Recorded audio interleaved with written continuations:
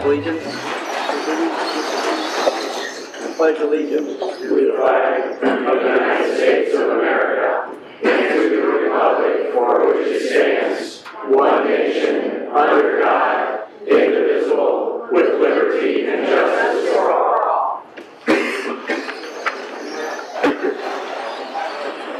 Please call the roll. Councilmember Erby? Here. Councilmember Page? Here. Councilmember Wasinger? Here. Councilmember Gray? Present. Councilmember Dolan? Here. Councilmember Trakas? Present. Councilmember Harder? Here. Mr. Chair, we have a quorum. Uh, I move for approval of the journal of the meeting of April twenty-fifth, two thousand seventeen. Second. All those in favor? Aye. Opposed? Motion carries. The April 25th, 2017 journal is approved. I move this, or Hazel, or, Go ahead. I, I, I move to suspend the rules in order for the presentation of a resolution honoring the longtime CEO of Spirit St. Louis Airport, Richard E. Dick Hapco, and who passed away on April 14, 2017, and presentation of a proclamation uh, by the county executive to members of the St. Louis County Older Adult Commission in recognition of Older Americans Month. Second. All those in favor? Aye. Opposed? Motion carries. Rules are suspended. Okay. Thought if we uh, present our resolutions? Um, May I Do you want read resolution number three? Yes. Okay, you want to make a motion? Sure. You want to approve Resolution, them, you want to approve them now, or you want to present them?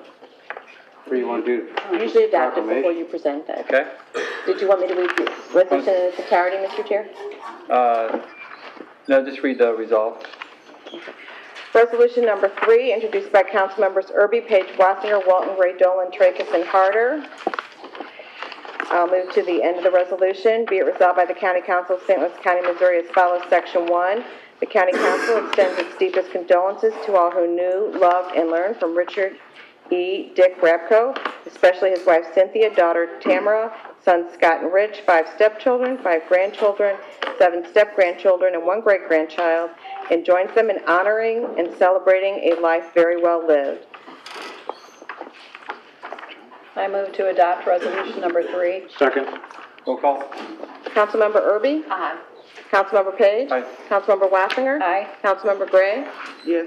Councilmember Dolan? Aye. Councilmember Trakas? Aye. Councilmember Harder? Aye. Mr. Chair, on resolution number three, there are seven ayes. Resolution number three is approved. Move for adoption of resolution, or reading of resolution number. Well, uh, we don't, that's the only resolution we have to present, Oh, that's just Mr. the Chair. proclamation? And, uh, John Bales, Director, current Director of Spirit Airport is here to, to, um, accept that resolution honoring Mr. Radko. Okay. Great. Want to present it? Is that that one?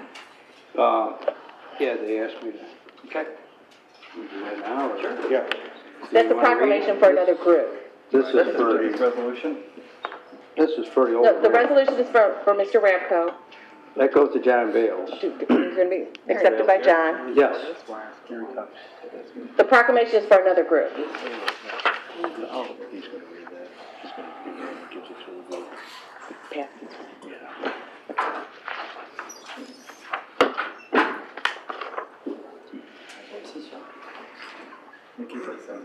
Sure.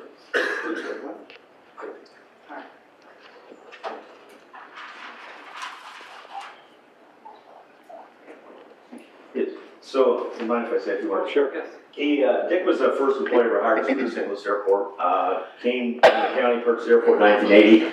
He took over first director of aviation. Um, he's probably the only county director that made it to Republican Democratic administration, so he's a good guy to learn from. He'd be proud of this. Um, he had a special saying about resolutions that I can tell you offline sometime.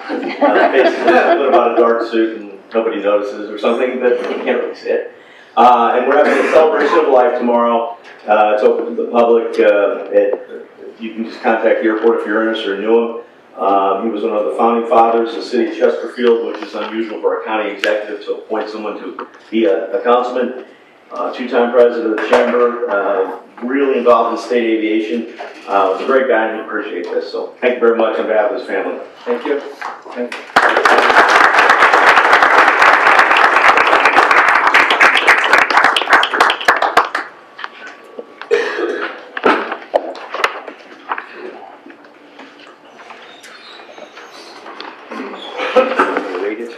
Sure. Uh, This is a proclamation, the county executive wants to extend his apologies for not being here to do this personally. He looked forward to doing that, but unfortunately, he's out with the flood uh, situation um, all throughout St. Louis County, so he's, he's uh, unnecessarily, uh, can't make it. He- He'd rather be here, I'm sure. Uh, This is a proclamation from St. Louis County, whereas U.S. Department of Health and Human Services Administration for Community Living is leading our nation's celebration of Older Americans Month with the 2017 theme, Age Out Loud, to give a voice to today's older adults. Whereas St. Louis County has the largest number of old- older adults of any county in the state of Missouri, and our county's vision states that it is a welcoming, prosperous, and safe community where businesses thrive and people have an equal opportunity to grow up and grow old successfully. And whereas St. Louis County is committed to supporting older adults as they take charge of their health, explore new opportunities and activities, and focus on independence. Whereas on the strength of its commitment to improve the quality of life for older adults, St. Louis County was accepted into the network of age-friendly communities by the World Health Organization and ARC. And whereas in June of 2015, the county adopted a three-year age-friendly plan with four key components to support a thriving and aging community by promoting health and well-being through healthy, active living, providing housing and neighborhood options to age in place, enhancing mobility options to, to support independence and involving older adults in social, civic, and ec- economic pursuits. Whereas in December 2015, St. Louis County established by ordinance an Older Adult Commission to provide advice on matters relevant to older adults throughout the county. Therefore, the county executive proclaims this May 23rd as Older Americans Month. So, um, anybody else want to join in presenting this? Anybody? Sure. All right, this is, who's accepting this? All right. Anybody want to come down? Come on down.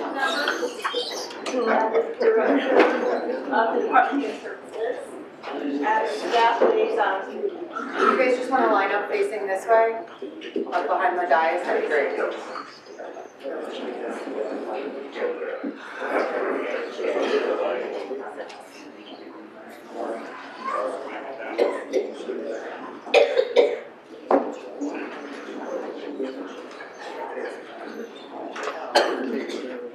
Please in there. Here we go. All right, one, two, three. Great. Congratulations.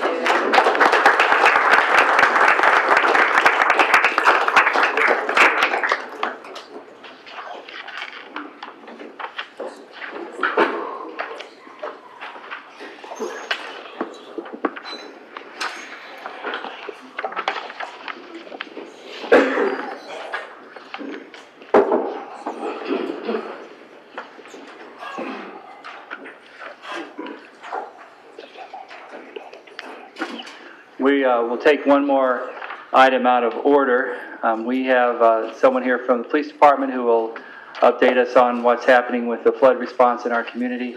Uh, We appreciate all the work that you're doing. You come up to the dais and uh, um, we appreciate you here tonight to give us an update, and then we'll let you get back to your important duties.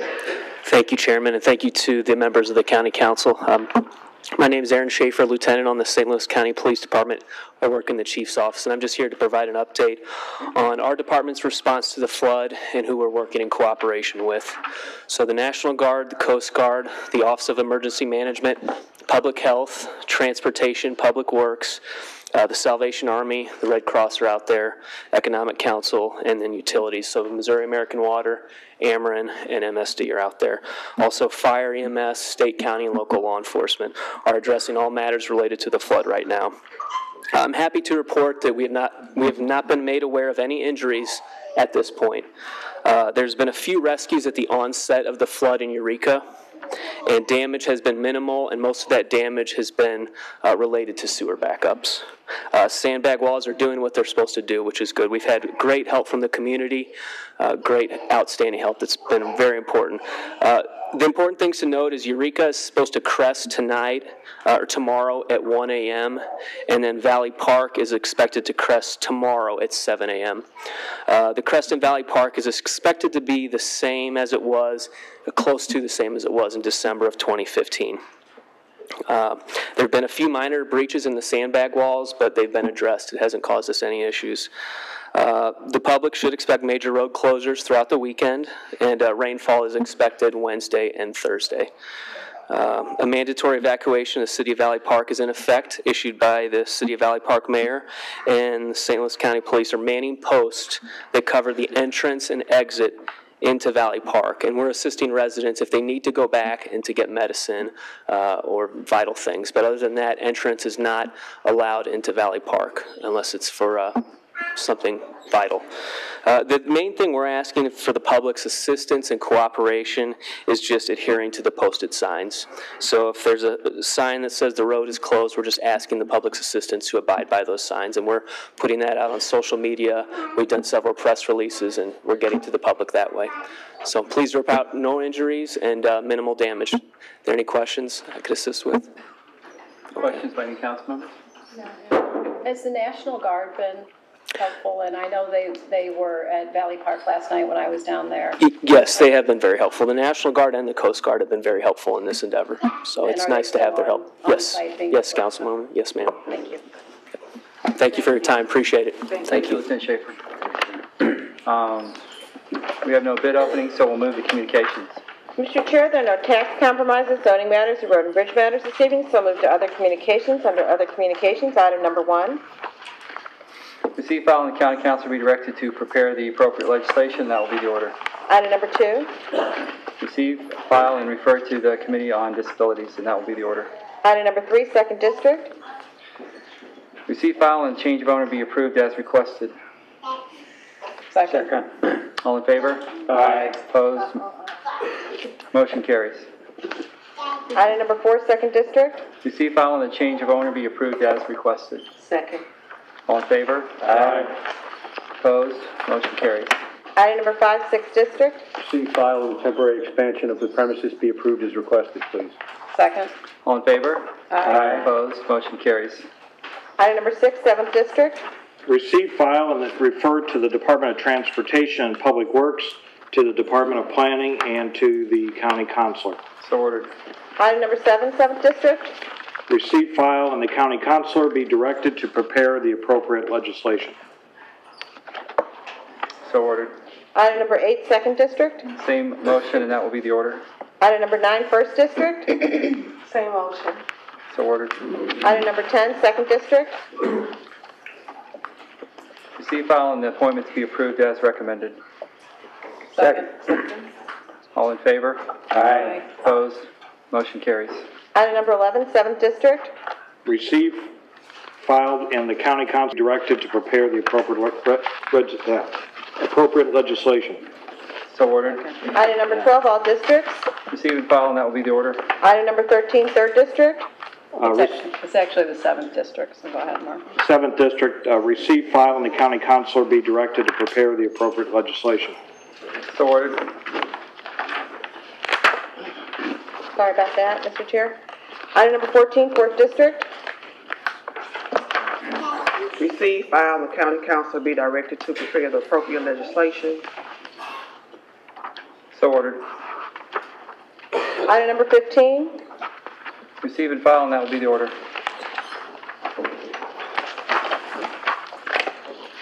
Uh, please read the add-ons. Item number 1, sixth district.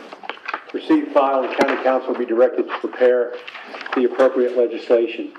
And if I may have a moment, Mr. Chair? Yes. Um, Yeah, I will. Same thing for number two, but before we move past number one, I just want to make sure the uh, folks here understand that um, the number one add-on tonight is um, to move forward with the McManus Construction Company um, petition for a zoning change. So uh, I've heard the folks that uh, came, and I've obviously um, had discussions with Mr. McManus, and we're going to let the council hear his petition and vote on it. And um, so, for those of you that are here tonight in support of him, I just wanted you to know that going forward. And um, we'll let, uh, this thing will proceed over the next few weeks, and um, the council will ultimately vote on it. And then um, I'd have the same motion for uh, item number two on the add-ons. So ordered. Thank you, Mr. Chair. Item number three, second district. Receive, file, and the county council be directed to prepare the appropriate legislation. Um, Report from the county executive. Uh, Report of special committees, there are none. Uh, Public forum. Um, Councilwoman Wasinger, I know you have a event to get with your, get to tonight with your son, which is very important. If you'd like to say something now, that'd be in order. Thank you, Mr. Chairman. I do have to attend an Eagle Scout dinner for my son. I apologize for having to leave early. But before, um, before I do leave, around 6:30, I wanted to speak about the Magic House request. Um, I think probably some people are here tonight to speak on that matter. And I want to let you know that the Magic House has requested that I drop this request for now. There needs to be more discussion on the fact that this tax is on hotel motel stays in the county and is for the sole purpose of supporting recreation activities and tourism in the St. Louis area. That has yet to be brought into the discussion today. To date, the county has collected approximately $225 million from this tax. Most of this tax money goes to pay for the Dome and the Cardinal Stadium, while the county has received a mere $7 million for attractions here in the county. This is, this is a discussion worth having by the council, as I fully support allocating some of this money to attractions here in the county, especially a nationally recognized not-for-profit children's museum like the Magic House that provides so many benefits to, to children in each one of our districts. So I will be bringing it up at a later date. Thank you. Okay, thank you.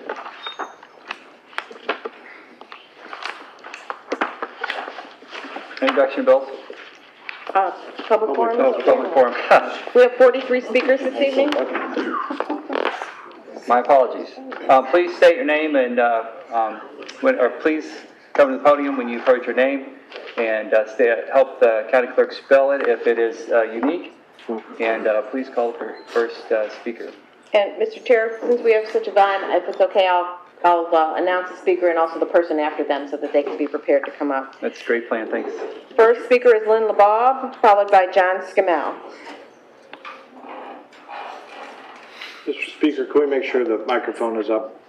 It is, Mr. Chair, it is, um, turn up as high as it will go, the, if the speakers can, you know, pull it down toward. I'm pretty short, so it'll be okay. Okay. And try to speak clearly and. Clearly? Okay.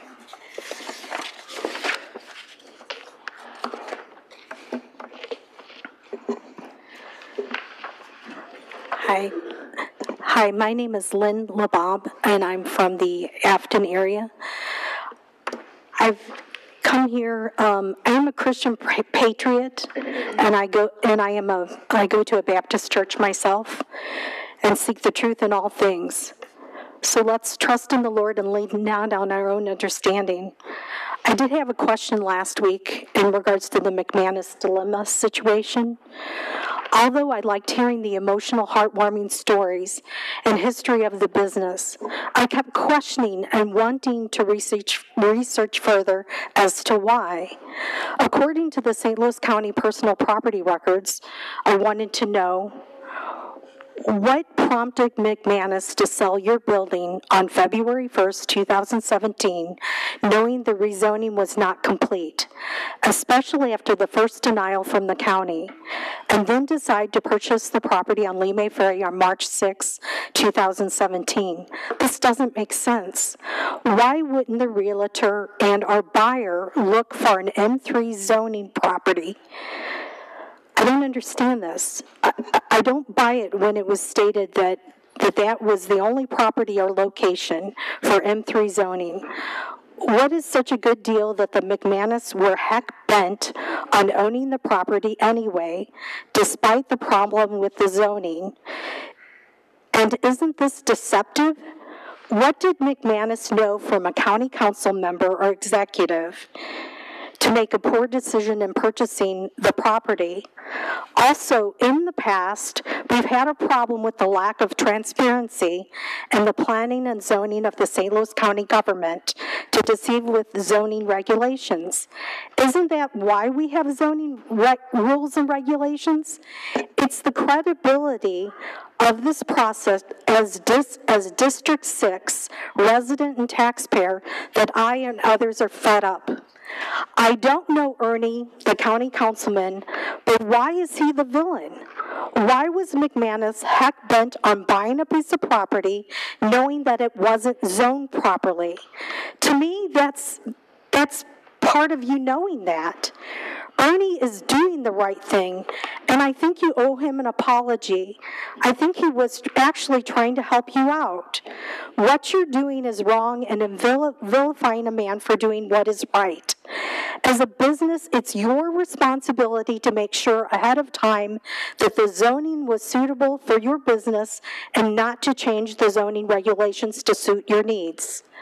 Also, regarding the flooding, on the not-so-great street sidewalk idea, here's a prime example of not having a road, a road diet and making roads available to the vehicle tax-paying public since our national disaster here, our state disaster. We don't want mass transit, which is a waste of taxpayers' money and dangerous to the health of our citizens. And I thank you all very much for your time. Thank you, Lynn. Next speaker is John Scamell, followed by Dan Preston.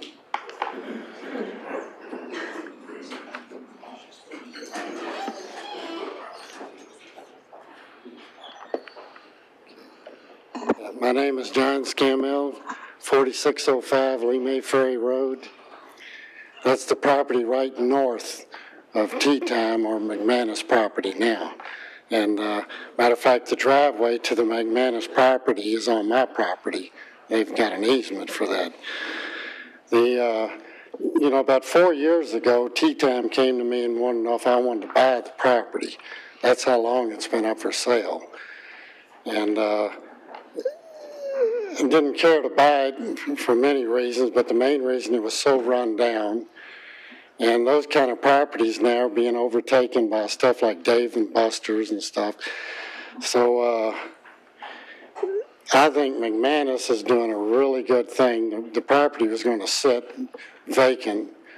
The guy owned it was walking out of it. I, I know all this because I talk to him all the time. And uh, so I think what McManus is doing is a good thing. He's cleaning the property up, he's fixing it up. You know, before there was the confetti, confetti all over the, the walls. So, uh, you know, I, I've been here three times. I don't know anything else to say. So, anyhow, I think it's a good thing. I think you ought to go ahead and let him keep his guys working and do the project and clean the neighborhood up. So I thank you very much. Thank you, John. Next speaker is Dan Pressman, followed by Cameron Hartman.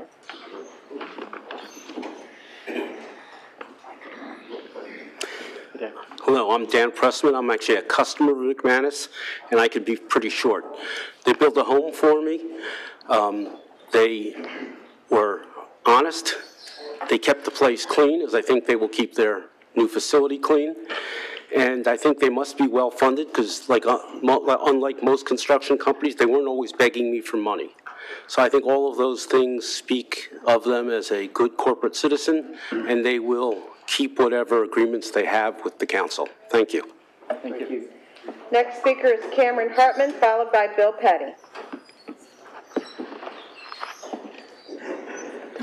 Thank you. Good evening, everybody.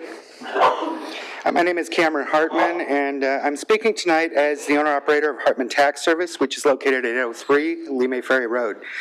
I've lived in South County for 24 years, and last year I actually left a 15-year corporate America tax consulting career to open up my own business.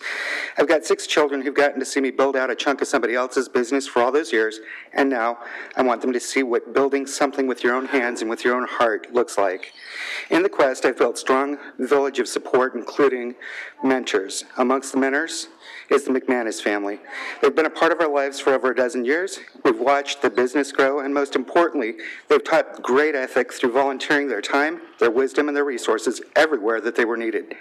The 30-year business that they have has validated itself as a blue-chip professional company that puts back and that other communities would be very willing to try to take from ours. My business is located on the north end of the Lemay Ferry Business Corridor, right in the heart of Lemay. I drive past va- vacant businesses every day on my four-block drive to work. On a trip to my suppliers that are three miles further down the down Lemay Ferry, I pass dozens of other vacant businesses. South County has a hollow commercial core.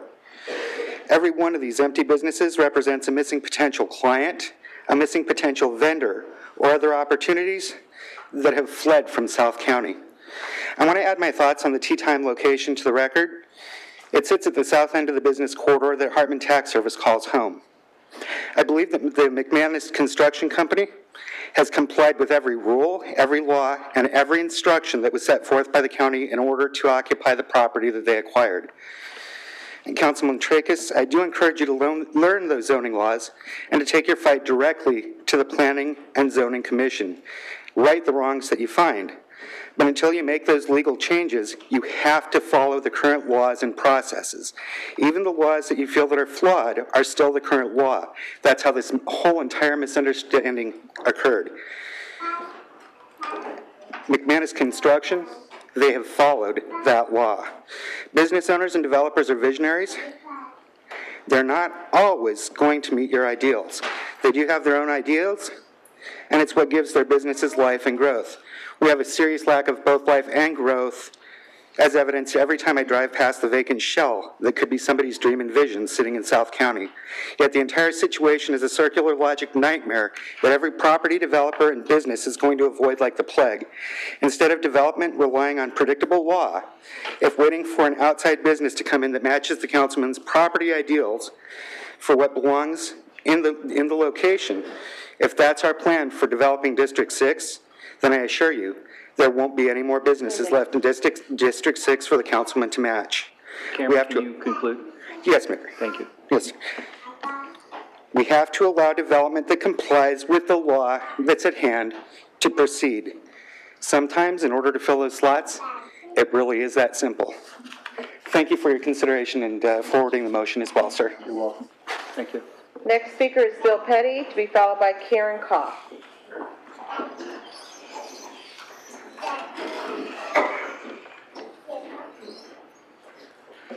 Good evening. My name is Bill Petty, and uh, I'm currently retired, but my work history was uh, 25 years as Chevrolet service manager, and after that, another 19 years as uh, fixed operations manager for an RV dealership. I'm kind of familiar with the inner workings of a shop and the way they are, are conducted, and uh, I joined uh, Canaan, that's C-A-N-A-A-N Baptist Church about 11 years ago, and I met Rob on a disaster relief call. Uh, he showed up with all of his equipment to help move down trees. Uh, Missouri Baptist Disaster Relief goes to people who have damage from storms, and uh, we clean up for them, one house and then to the next.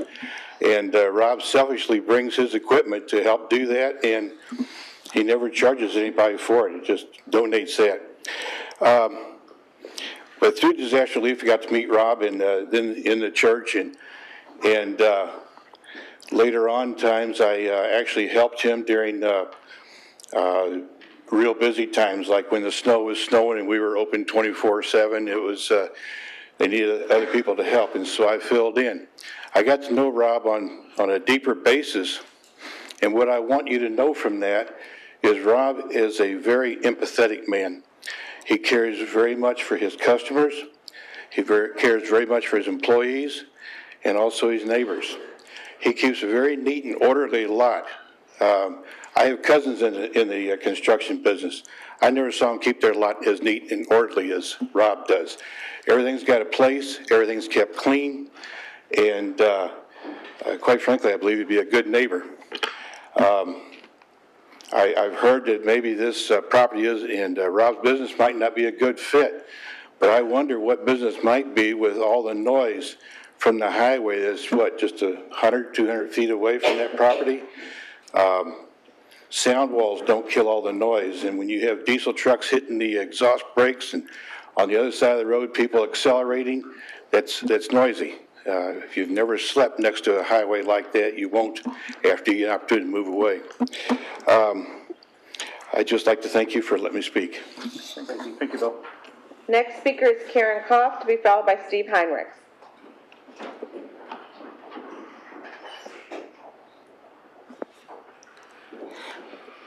Good evening, ladies and gentlemen. My name is Karen Koff. My husband and I have lived in South County for 31 years and are in District 6. We raised four children in South County and have moved here and moved here because of the people and their values. We've known Rob and Angela McManus about eight years and attend the same church.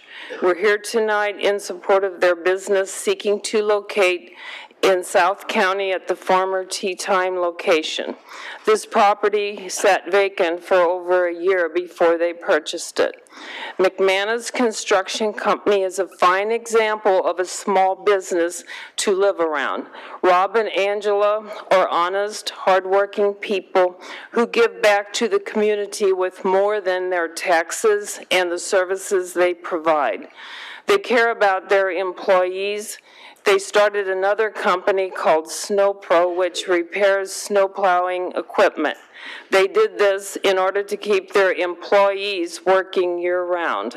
They repair competitors' snow plowing equipment equipment.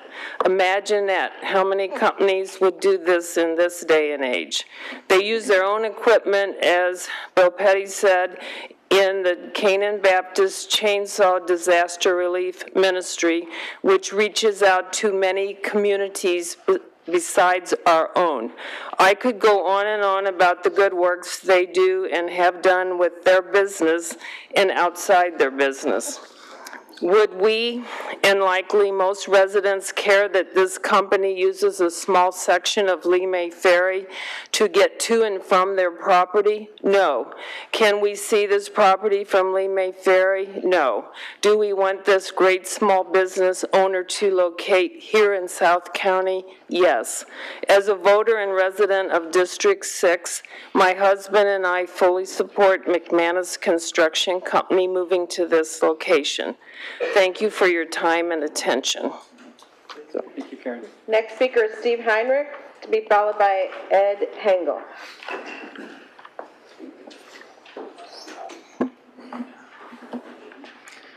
Good evening.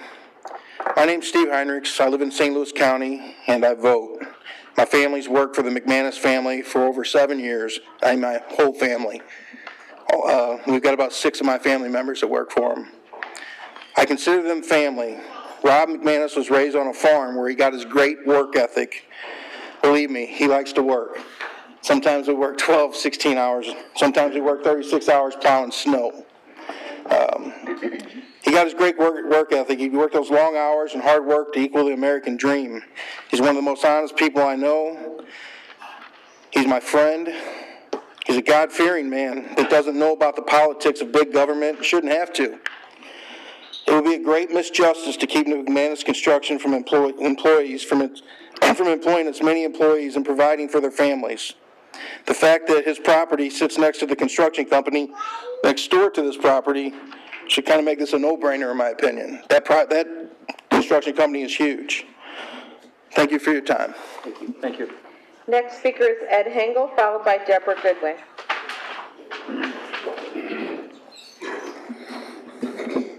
Hello, my name is Ed Hengel, and I appreciate the opportunity to speak to this forum. Uh, I've run a family business for 30 years just around the corner from uh, Rob and Angela's uh, current location. the character of Rob McManus is not in question here. He's an outstanding person. We've known one, one another for approximately 20 years.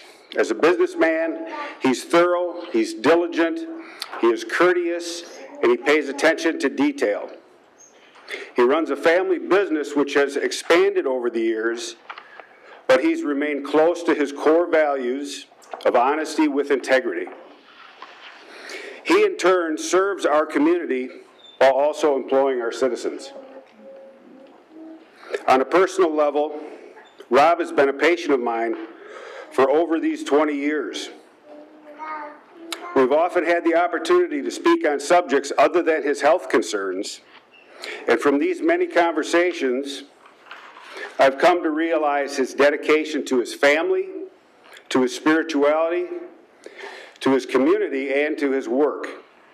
When it comes to the good neighbor policy, as someone else just touched on, Rob is head and shoulders above the gold standard. And the outward appearance of his construction business is both clean and organized. This is not an eyesore, as some people may worry. He's also a compassionate man. When I was faced with my own healthcare challenges, he showed just what kind of spirit and love he was, he was contained inside of him. On more than one occasion, he's done service work at no charge. He's a man who is always willing to help, even when he may be losing income. Rob McManus is a professional, he's a friend, and he's an asset to our community, and we should all strive to this level of quality in ourselves. Thank you. Thank you, Ed. Next speaker is Deborah Goodwin, to be followed by Brian Green.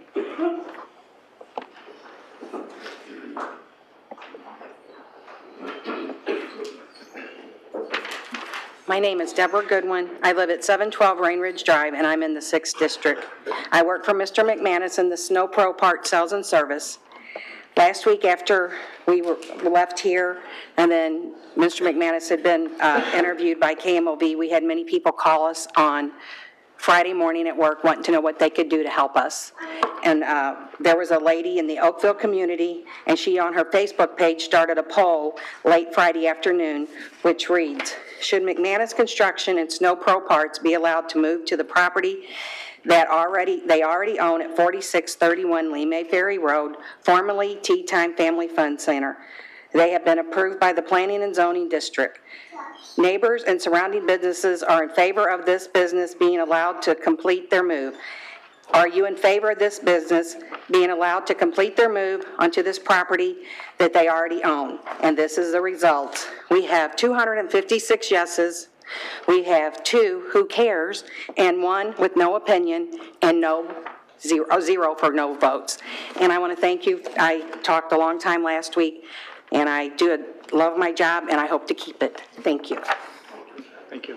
Next speaker is Brian Green, or possibly Greer, I'm not sure. Uh, followed by Bill Kostecki. Hello, my name is Brian Green. Uh, 20 years ago, I interviewed with job for a jo- with Rob for a job, and my concern was I had just recently got a divorce. I spent a lot of time with my son, and I told Rob that you know when when that time comes that I would be with my son. He said, "Don't worry, we're all family men here," and I've been a part of Rob's family for 20 years. Uh, the the property on I guess the, the, with the problem with the property, I, it sat idle for years. It was uh, non-productive, and I would think a thriving business like McManus Construction Company and Snow Pro could contribute a lot to the economy of Oakville. Um, you know, we're purchasing supplies and local supply goes to the schools, the ambulance, fire department, and as well as the property taxes on the property. Um, you know, McManus Construction has contributed to the economy for the last 30 years. And, and, and, you know, it's understandable that, that you would want, you know, a, a family-oriented business there, but, you know, the times now, it don't seem like that's feasible anymore. And I think that, um, you know, being a stone's stroke from another construction company, why couldn't you have two on the same street? Thank you for your time. Thank you, Brian. Next speaker is Bill Kostecki, followed by Catherine Whitkin. Uh, Good evening, councilmen, members of the council. I appreciate you listening to me tonight. Uh, What I'm here for is a character reference, as you heard already. Uh, Many people speak about them, uh, Rob and Angela, they're great people. Um, What I am is I'm a neighbor of theirs, and I'm not a neighbor next door, and uh, I'm a neighbor down the street. Well, I've known them for about 10 years, and I didn't, uh, you know, know them personally on the level that I do now for about the first three or four years that they lived there. You know, I knew them as a way by, uh, how you doing neighbor kind of thing. And uh, what they've done to the neighborhood is amazing, and I'm sure they'll do the same thing to where they're uh, trying to move to if you give them the opportunity. Uh, you know, they've uh, added onto their house, and when they added onto their house, it was a, uh, you know, they gave us a little letter to the neighborhood saying, hey, we're going to have some construction going on, you know, be aware of it, you know, uh, you know, try to, we'll try to accommodate you, and uh, but just be aware that we're going to do some additions. Well, you know, when you do an addition to a house, sometimes you think about it. We live in a modest neighborhood. You know, it's a brick neighborhood, uh, all brick houses and things like that. So you think maybe they're just going to do a uh, kind of stick-built addition. No, they went full-blown. What what they did is they uh, took into consideration uh, the neighborhood and the design of their house. What they did is, uh, you know, they didn't raise the house. They brought it out forward, and they took the neighborhood into consideration. Made their house a very unique design, very nice, but it blended in well. Isn't something that you know stands out like an eyesore, and uh, that's just the kind of people they are. And then they uh, took the neighborhood themselves upon themselves. They took the neighborhood and uh, brought us all together. Um, party. And I only knew maybe four, five, six neighbors, and I've lived in that neighborhood for 25 years.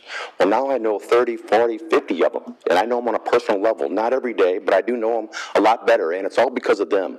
And that's what they do, you know, they're uh, community type people, you know, they think about other people, and what they want to do is, uh, you know, be part of it. And that's what they're trying to do now, you know, they're trying to move on to bigger and better things, be part of the community up there, and bring to them what they brought to us. And uh, I appreciate your time. And I hope you give them the uh, move. I appreciate it. Thank you. Thank you. Next speaker is Catherine Whitkin, to be followed by Dennis Gazella. Thank you. I'm Catherine Whitkin. I'm a surgeon at St. Louis University Hospital. I have been a South County resident for my entire life, other than the period that I was gone at school. At the time I became aware of Rob McManus and his work, I didn't have very much money. I was the person who was remodeling a house on the discounts from Home Depot and at Lowe's, and if you bought in bulk from both things, you could get 10% from each accounting. Rob worked with me on this. As you might imagine, my hours are long. They're almost as long as Rob's. And because of that, it's necessary for him to do the work when I'm not present. His is the only company I've ever given the key to my home and not had a single concern. I've listened here this evening, as I know you all have. I've heard a lot about his testimony as a good neighbor, as a good businessman, his commitment to the community, how he maintains his shop, how he works with his employees, and who you want to have as a neighbor in your neighborhood. I think he's the kind of person that South County needs to encourage to grow a business in our community because he's demonstrated he's done it all along. He's here for, to be here for the long haul. Thank you all. Thank you. Thank you. Next speaker is Dennis Gazella, to be followed by Ron Levesque.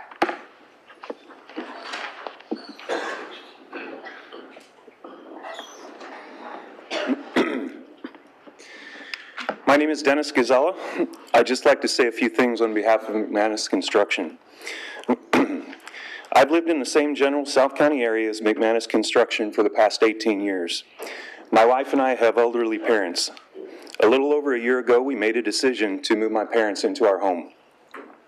In order to accommodate this change, we needed to add a room onto our house. I interviewed three contractors from the room addition, one being McManus Construction. In the end, we chose McManus Construction because their bid was by far the most professional and provided the most detail. We felt like we knew what we were getting for our money, and we were happy to be working with a contractor that was in our backyard. Rob and his crew started construction as soon as the plans were approved and permits granted. I hadn't done a major renovation before, so I didn't know what to expect, and I'd heard horror stories about working with a contractor. But I can tell you that Rob and his crew were considerate of my family and acted very professionally. Any questions I had or issues that came up with were dealt quickly and thoroughly by Rob and his team.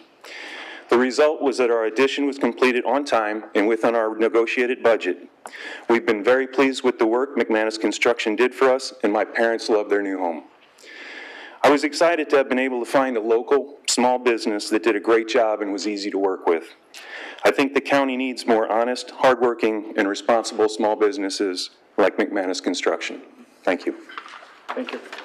Next speaker is Ron Levesque, to be followed by Mike Olick. Good evening. Um, Just on behalf of the McManus, I've uh, owned Show Me Lanes. It's the uh, bowling center just north of the property. And um, we've been here 39 years, and in those 39 years, uh, I've got to know most all the business owners up and down the, uh, the corridor there, whether it be the big business, the big box store, Sam's, or the small guy. And as a business owner, um, we need McManus as a, as a neighbor. So we would like to uh, get him voted in if it's, if it's possible, which I'm sure it is. But uh, speaking for the businesses, we would like to have him for a neighbor. Thank you. Next speaker is Mike Olick, followed by Tracy Clark.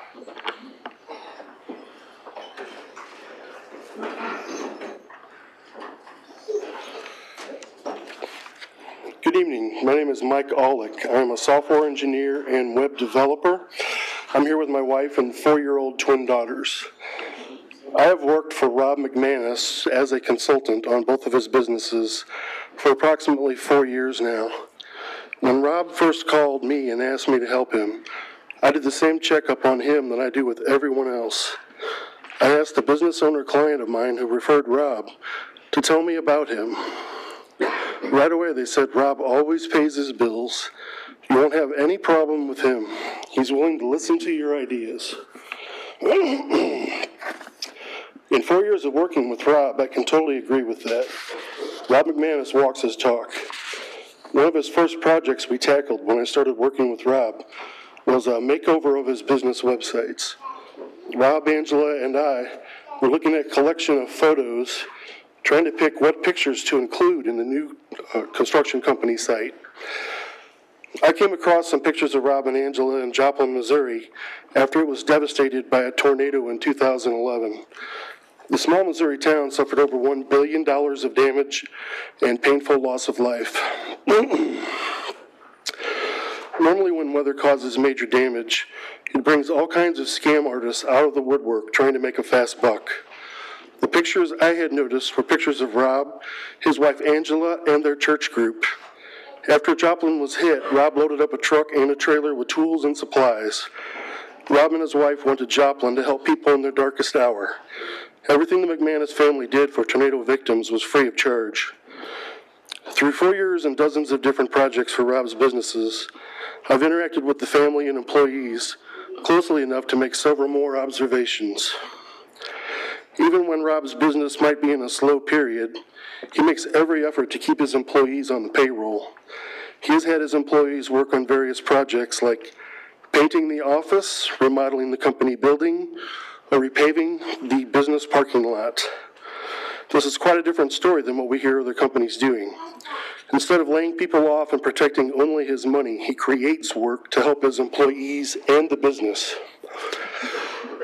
As part of my development work for his website, I captured time-lapse video of a major new home build. I also interviewed Rob's client.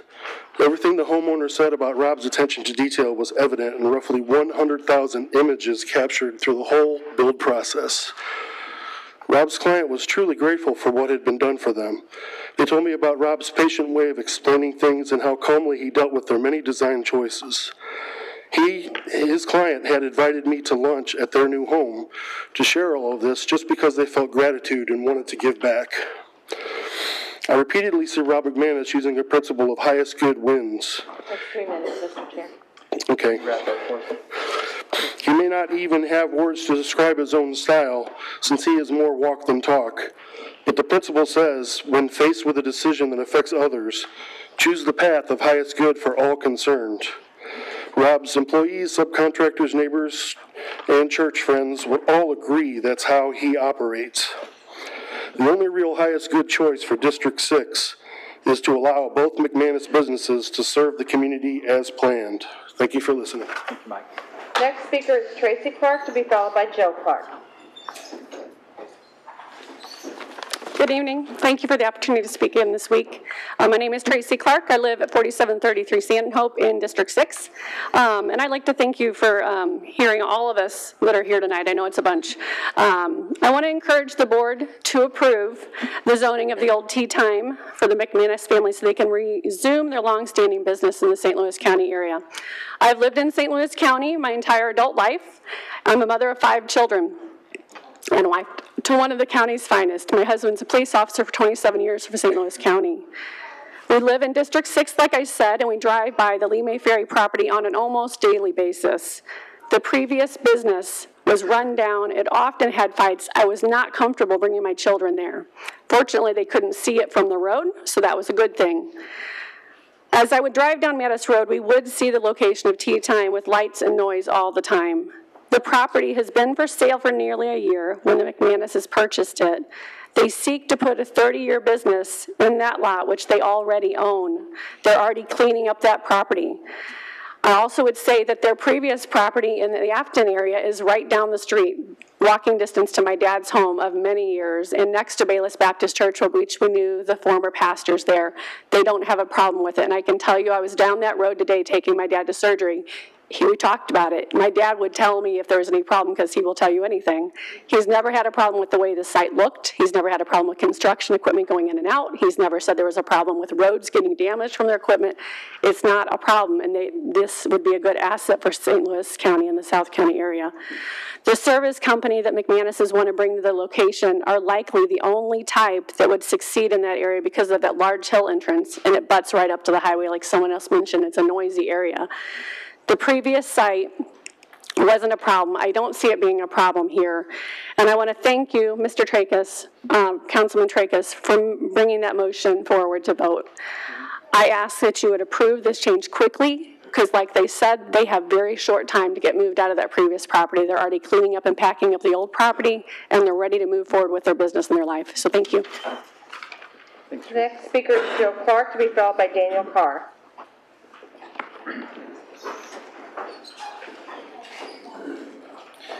Good evening, everyone. My name is Joe Clark. I live at uh, 4733 Stanhope. Um, and I want to thank you, Mr. Trakas, for moving this issue forward.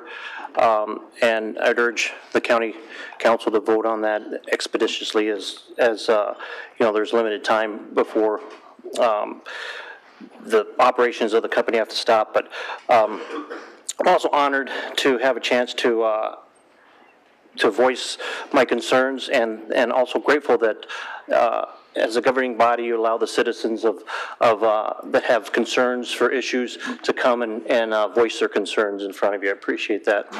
Um, uh, I'm here as a citizen of, the 6th District to show my support for the McManus Company, for Rob and Angela McManus.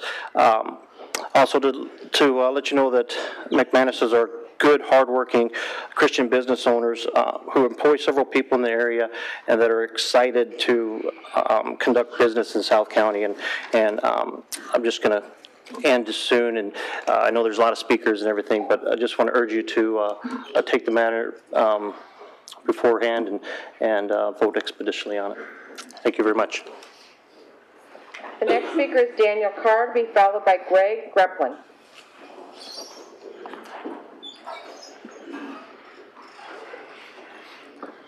Well, good evening. Uh, my name is Daniel Carr, and I appreciate you all hearing us and taking this valuable time because we know you all are busy.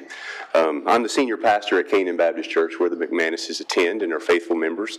And uh, we've heard a lot already about their character. And I just want to just kind of add briefly um, to uh, the sentiments already conveyed. So I want to encourage you to, uh, to go ahead and approve this based on emotional reasons. It's already been stated, uh, just the character of the McManus family, but also some pragmatic reasons as well. Uh, so first of all, you've heard a lot about their character. And times like this, you know, we tend to over embellish a lot of people's character to try to, to get you to do what we think we want you to do. But I can say in this case that there's not embellishment going on. Um, I've known them for five years. I've been a South County resident for five years in District 6, raising seven children in this great county. We absolutely love it here. One thing we love about South County is just uh, there's, there's so many family businesses, and uh, it's just kind of a bedrock of uh, American culture to have family businesses and people you know and have a relationship with to do business with. And the McManus family is one such family. Their character has been attested to. They are very generous. They're very community minded. Uh, they've lived here a long time, so they are just part of the fabric of South County. Um, so the characters attested for, uh, but also just for pragmatic reasons. Again, many already stated the precedent. There is already a construction company on Lemay Ferry. Uh, there is the original zoning of M1 from 1965 uh, that they're simply asking to go back to. So it's not a, a, a new idea. It, is, it has precedent, and also just the proximity to their clients. You know, Snow Pro services a lot of South County clients, including South County Mall. So anytime it snows or ices, Snow Pro is there cleaning all the ice off of South County Mall. So it's very close, it's right down the street, as well as many of uh, the clientele that they so faithfully uh, and diligently serve. And so I think this is a very good investment in South County to have the McManuses move to the Lemay Ferry location. And again, I just want to say thank you for hearing this, considering all this, and just encourage you to uh, approve uh, this relocation for them. Thank you. Thanks. Next speaker is Greg Gremplin, followed by Richard Duker. Hi, my name is Greg Rempler. I've been a lifelong uh, resident of St. Louis County. I currently live in the 6th District. Uh, the last time I got involved in anything like this was over I live by St. Anthony's Hospital when they had the large uh, apartment complex they wanted to put in next to South County Baptist Church. I appreciate you listening to us and stopping that development. I'm here today, though, because I am in favor of McManus Construction being allowed to move to that location.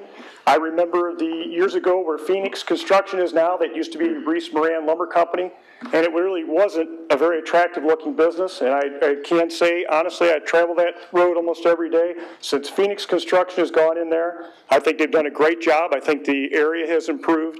My children, when they were younger, used to go to tea time, and I can tell you that property has been in decline. I can think of no other business that would be there. The railroad tracks are right there. When they come by, the ground actually shakes. It's so close. There's a major highway behind there. The property owner next to them is in favor. I see no reason why they can't do that. I drive down Lemay Ferry Road, I go in towards the Lemay area, I see the building after building that are vacant.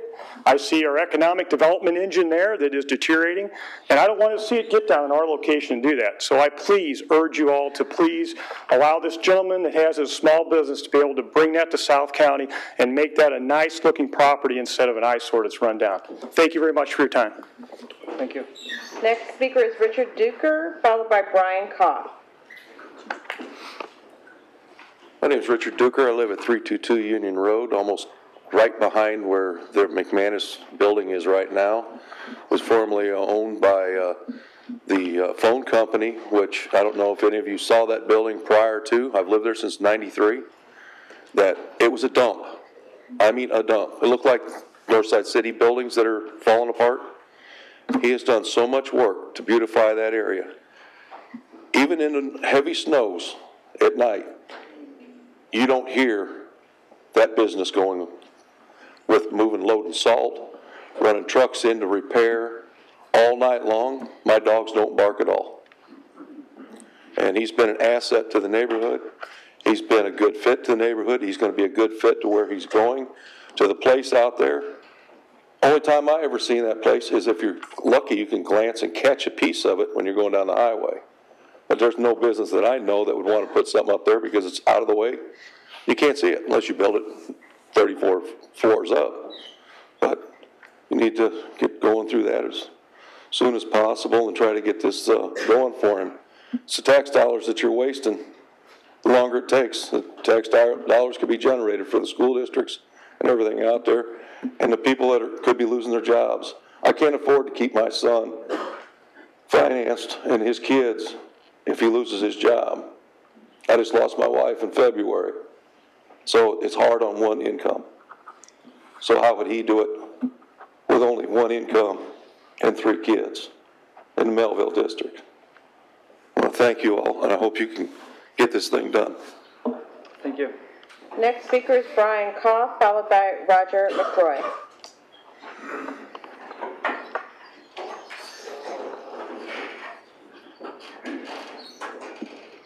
Members of the council, audience, good evening. My name is Brian Koff.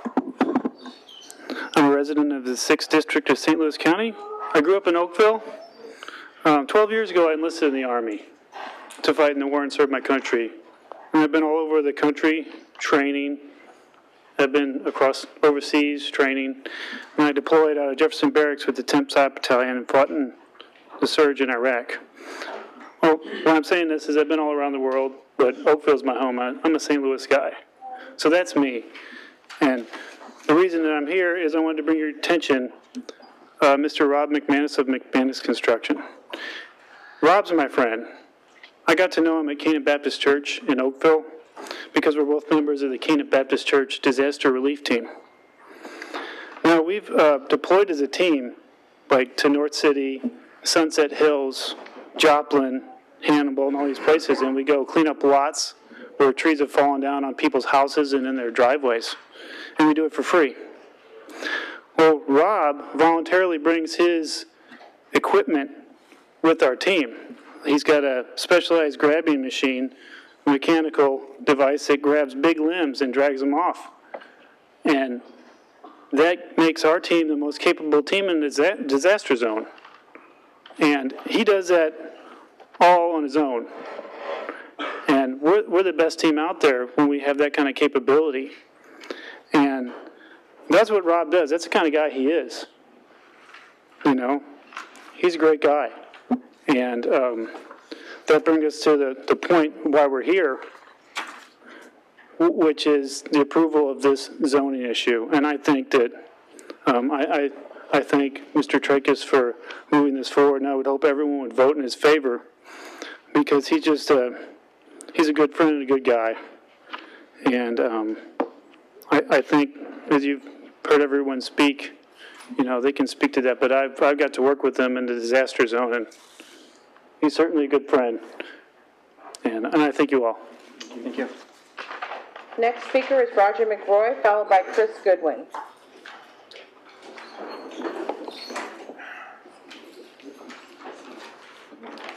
My name is Roger McRoy. I live at 3616 Summit Avenue. We're right across the street uh, from the McManus's uh, soon-to-be, hopefully, construction company. Um, We have, uh, I didn't know Rob beforehand, or his wife Angela, but uh, Rob came up, introduced himself, and just after the neighbors talking to him, they volunteered to get signatures for him. I mean, this is something saying for a man. And Mr. Trakas, I voted for you, number one. Um, I, I would just like to uh, see the McManuses be able to have their construction company. Um, they were talking about uh, the heavy trucks, 10 ton trucks. Now, just in our small subdivision of 70 people, uh, 70 homes, I should say, um, there's up to four trash trucks one time a week. We're supposed to have two. We stopped and asked him, how come they had so many trash trucks? He said, because we're helping the guys out. That's four trash trucks with unlimited weight capacity. Whenever they're full, they empty. Um, as far as Lemay Ferry goes, isn't Lemay Ferry a heavy load zone? Um, they normally don't use the highway. With the quarries that we have around us, um, they use Lemay Ferry, Telegraph, Baumgartner um, as far as uh, the hauling. Uh, they, you very seldom ever see them on the highway. Um, on Baumgartner Road, there's also a chemical company there that's right next to the river. Um, they have their zoning, they have their chemical company, um, which a lot of their employees wear masks uh, to protect themselves. And we do have the flooding now. Um, if it goes over Baumgartner Road, it's going to get their company. Um, and I just, uh, I appreciate you going to take the time to put it before the board in order to uh, pass this. And I hope, Mr. Trakas, or should I say Councilman Trakas, I did vote for you, and many people here voted for you. Um, and we would like to see the McManus, comp- uh, McManus Construction Company go into play. Um, if you would like to come up to my home and Well, I, I would say come up to my home and listen what tea time was, because I'll tell you right now, tea time was terrible. Not only just fights, the noise was horrendous, all the way till 12 o'clock at night. You couldn't go to bed, and not on my street.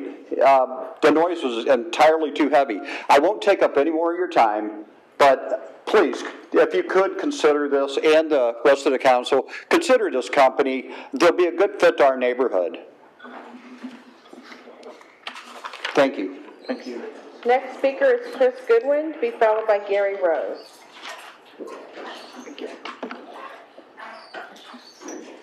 Ladies and gentlemen of the committee, Pastor Chris Goodwin, I've lived in Lemay since 1964. I raised my family in South St. Louis. I also owned at one time several businesses in St. Louis County. Uh, I also owned a five-family apartment building. The reason I bring all that up is I know how hard it is to be on the business end of a business. But I also have known the McManuses for close to 20 years, and on top of that, I also was their pastor for eight years as an associate at Bayless Baptist Church. You've already heard from several people as to their character, but I just want to encourage, as a St. Louis County resident, I just want to encourage this council to proceed with the recommendation of the McManuses being able to take over the Tea Time location to move their business.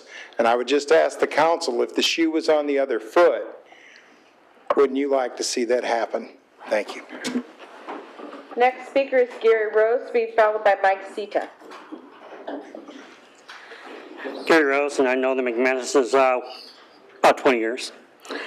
Within a two and a half mile stretch from Lime Deerbergs Plaza to the old Tea Time location in, in Lemay Ferry, there are in excess of 50 commercial property vacancies, including five empty shops in Lime Deerbergs Plaza, two empty shops in MacArthur Strip Mall, three additional empty shops in the Rumas Plaza. Wendy's, the old Wendy's, uh, is vacant. Dairy Queen is vacant. There are seven vacancies in the Kmart Plaza, 14 empty stores in the mall, two open stores behind Lindbergh Tire Auto. Sports Authority is empty. The shops on either side of the bridge in Charlie's is empty. There are eight vacancies in the Old Navy Shopping Center is empty. And just below Sam's, there are two vacancies in the Mehlville Strip Mall. There are 5,000 unused square feet of space in the Lindbergh Building and an additional 3,600 square feet for lease in the Lindbergh Auto Tire Complex. There are also a number of undeveloped lots where buildings used to stand, and moving a mile the other way from Lime Plaza to the River des Peres, there are many additional empty plots of land and vacant buildings and offices.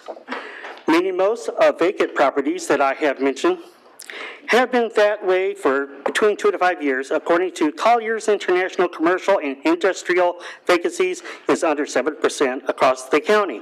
St. Louis County is in a boom market for commercial and industrial property. However, with the exceptions of Earth City and the airport, where new buildings skewed the vacancy rates, South County has the highest level of vacancy in the county by a wide margin. The South County area is, is uh, stagnant in growth and even losing ground. This says something about what is happening here. Our properties are simply not wanted and have not been for a very, a very long time as evidenced by, by how far behind, behind we have fallen to the rest of our, our county. My question for the council is, what are you doing to bring businesses to South County? And equally importantly, what are you doing to retain the businesses in South County instead of driving them out? McManus's construction belongs to South County where they have been for a large number of years. They have done every single thing that the county has asked them to do to stay here, and we need them because if they don't stay, there's a good chance that no one will replace them, as evident by our vacancy rate. I'm challenging the county council tonight to take a straight up or down vote on McManus's construction.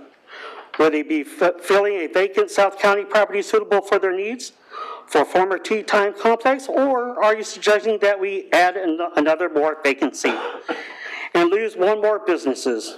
Our councilman, he has said, wants to change these patterns of vacancies. Well, let's make that positive change for South County tonight. Thank you. Next speaker is Mike Sita, and Mr. Chair, I'm not sure the next name, I think it's David Haran. Hello.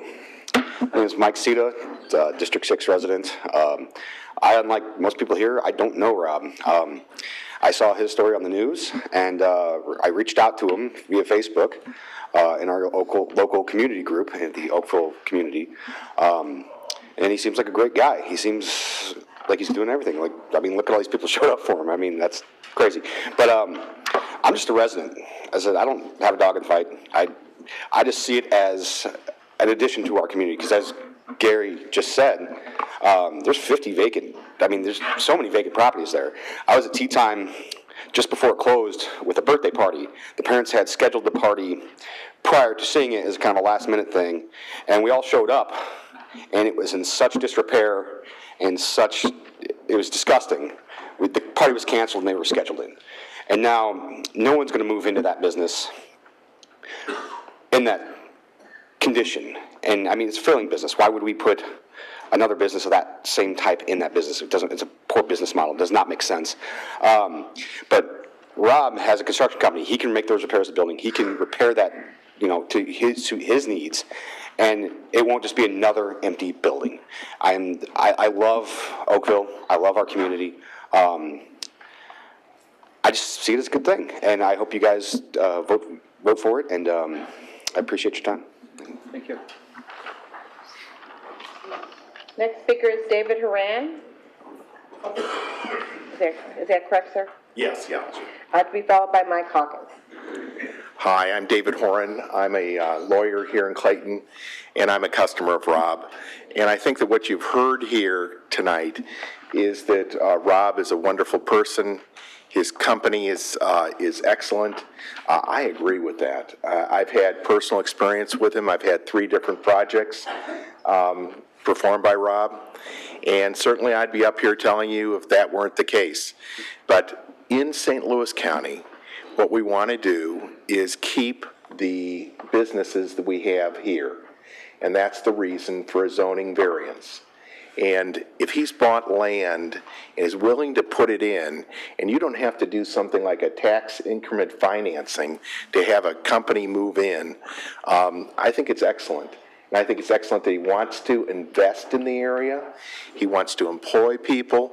And obviously, what you've heard here tonight is that this is an excellent company and an excellent family. And I support a zoning variance. Thanks. Next speaker is Mike Hawkins, followed by Andrew Bell.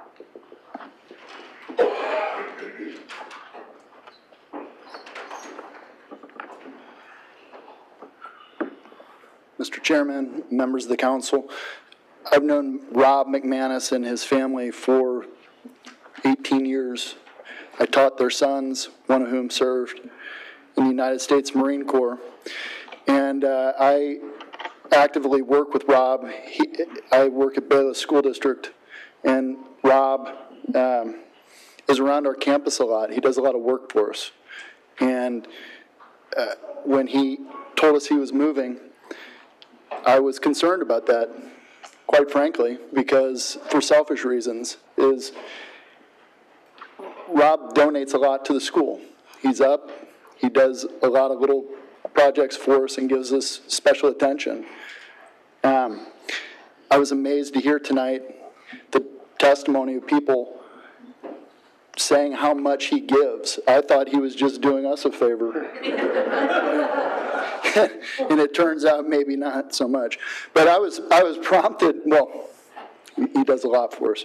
Uh, I was prompted to come up here because I was trying to figure out what America we live in where we don't encourage our businesses to expand.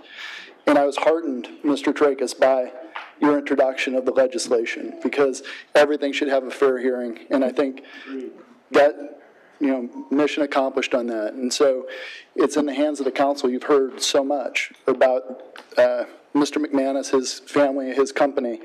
And uh, so I ask you to consider that. Thank you very much. Next speaker is Andrew Bell, followed by Bill Nittig.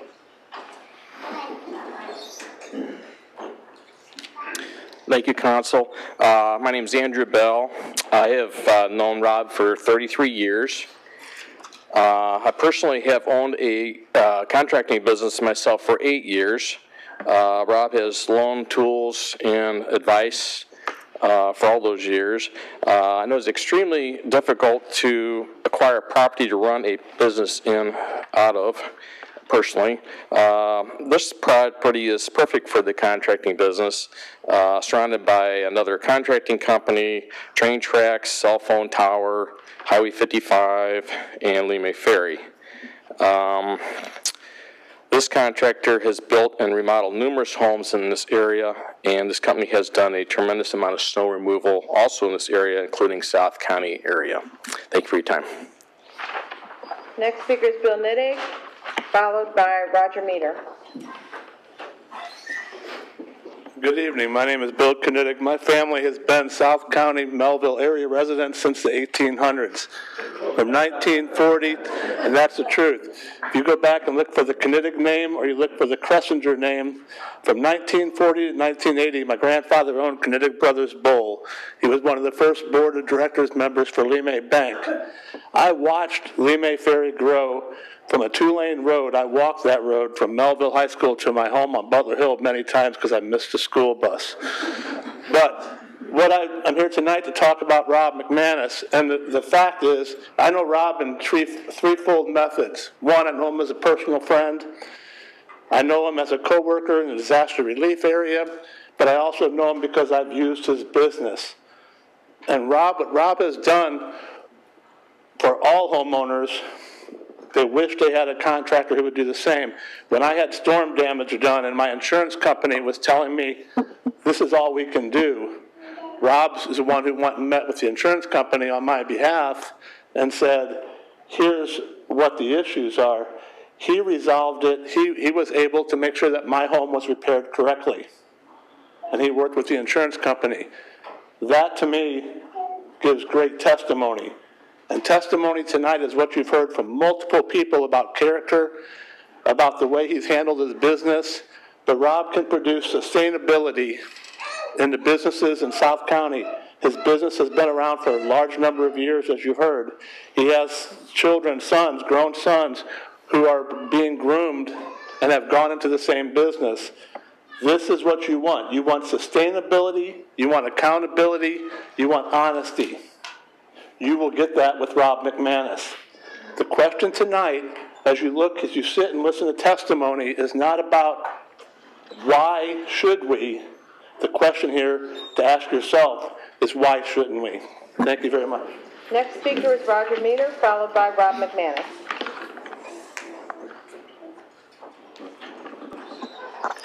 Thank you. My name is Roger Metter. I live in the Oakville area.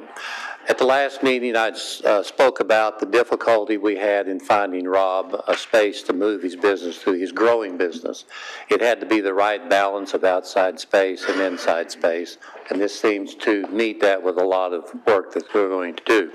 But tonight, I just want to speak as a, a resident of Oakville since 1976.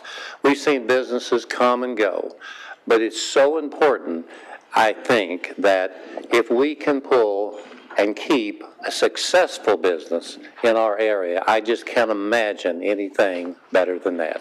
Thank you for your time. Next speaker is Rob McManus, followed by Angela McManus.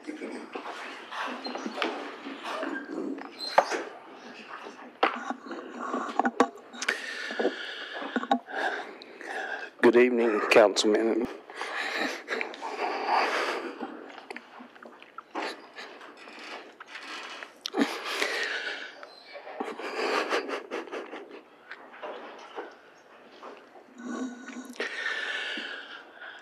Can't say what I was prepared to say today.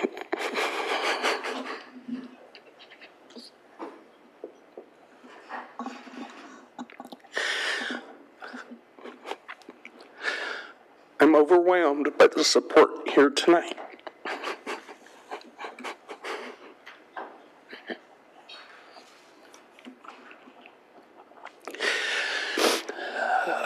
People that have spoken on my behalf have come out of the woodwork, not solicited. They've heard about us from another company or another person, a friend, family member. They've heard that our rezoning has was received on March 28th and it's not been acted on.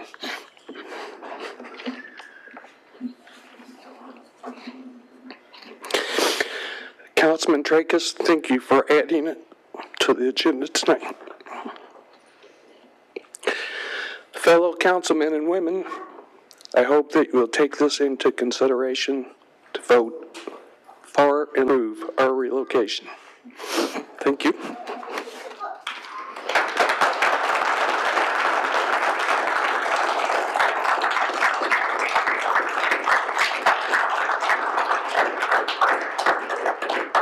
The next speaker is Angela McManus, followed by Gary Bond.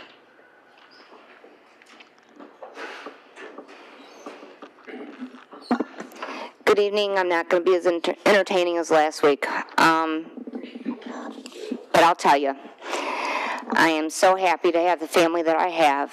A few of my sons were able to come tonight, and those are the ones that learned how to earn. They have wives, they have families that I'm so proud of. You just don't know. Very humbling. Back to me. Um, Rob, I'm going to try to sweep up for you.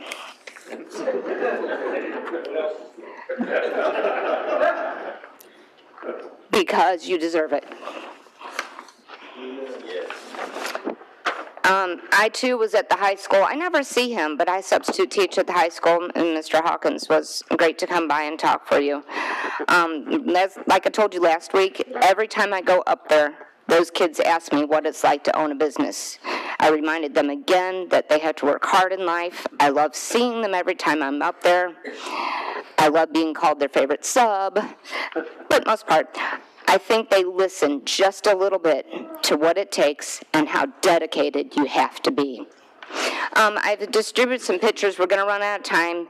Um, I was going to go through them. It's quite simple that it's a lovely piece of property to me. Maybe not for somebody else. Um, go counterclockwise clockwise through your pictures. You go up your driveway here, um, and you go off to the right. I want you to see this while you're deciding. There's nothing to hide. And I thought, thousands of words are in those pictures. There's a saying about that. So you go to the right, you go up. That'll be the construction on the north side of the building. It's a lovely, kind of ugly metal building.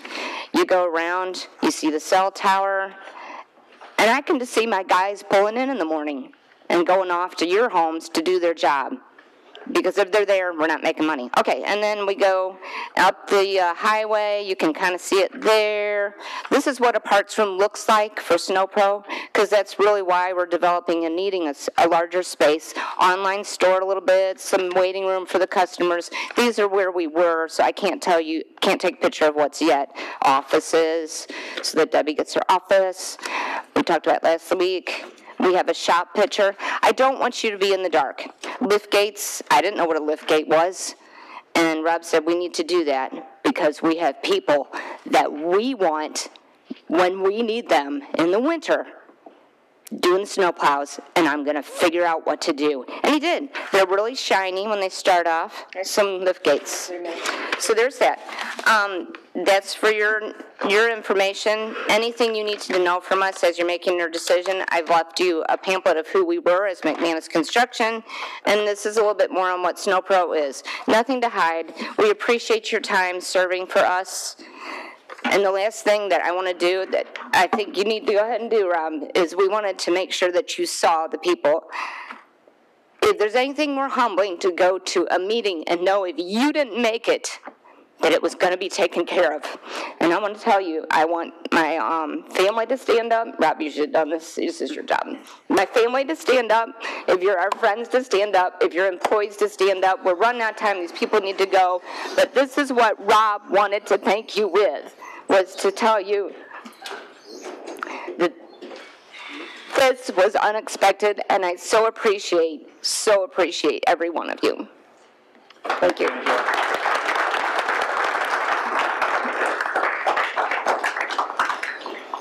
Final speaker this evening is Gary Bond. Hello, Uh, my name is Gary Bond. I'm a 40-year resident of St. Louis County. Uh, I've been involved with uh, real estate and business for uh, since the early 90s, and I can tell you it's challenging sometimes to uh, to work through everything. But also, um, I'm uh, one of the pastors at Canaan Baptist Church. I got called into ministry later in life, and uh, it's great to see uh, people like Rob jump in and, and give a hand. Um, and I've seen him donate his time and his equipment, his money to uh, various events that we have around the church. And I think tonight what we've heard is that we see a man who's a who's been a good neighbor. He's been willing to jump in and help in very in charitable organ, uh, situations. Uh, uh, disasters, and I think you can see from all the people who have shown up uh, the kind of support that he and his family have in our community. And so I, I encourage you, I thank you for your time to uh, to to give this issue a fair fair hearing and, and to go ahead with it. Thank you, Ray. Thank you.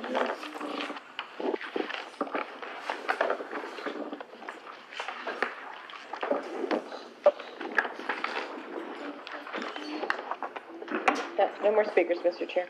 Introduction bills?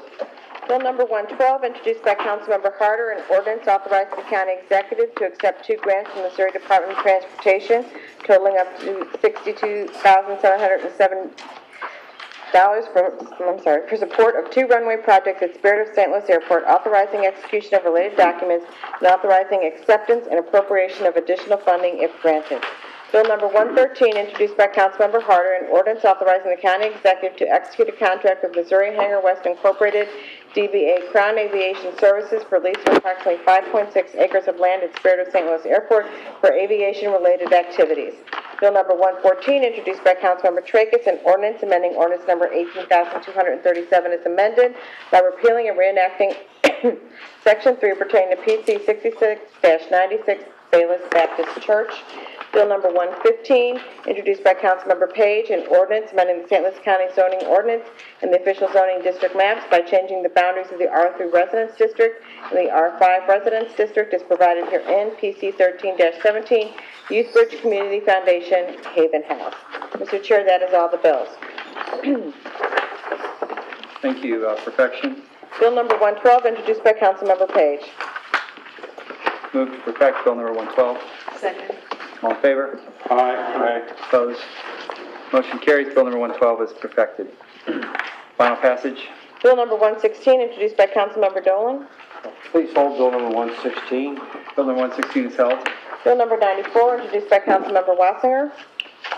Please drop from the order of business. Bill number 94 is dropped. Bill number 107, introduced by Councilmember Erby. I move the final passage of bill number 107. Second. Roll call. Councilmember Erby? Aye. Councilmember Page? Aye. Councilmember Wasinger? Councilmember Gray? Yes. Councilmember Dolan? Aye. Councilmember Trakas? Aye. Councilmember Harder? Aye. Mr. Chair, on bill number 107, there are six ayes and one absent. Bill number 107 is finally passed. Bill number 108, introduced by Councilmember Erby for Councilmember Page. Move for final passage of Bill number 108. Second. Roll call. Councilmember Erby? Aye. Councilmember Page? Aye. Councilmember Wasinger? Councilmember Gray? Aye. Councilmember Dolan? Aye. Councilmember Trakas? Aye. Councilmember Harder? Aye. Mr. Chair, on bill number 108, there are six ayes and one absent. Bill number 108 is finally passed. Bill number 109, introduced by Councilmember Wasinger. Uh, I move for final passage of bill number 109. I just have a question. Um, Councilman Harder, do you know if this property has been brought up to condition for acceptance or if that's waived in this setting? I do not, I wasn't prepared to answer that with the absence of. And I didn't know she was going to be absent until right before the meeting, but I would like to ask her that question because if it has met these, the routine maintenance requirements, I would be happy to support it.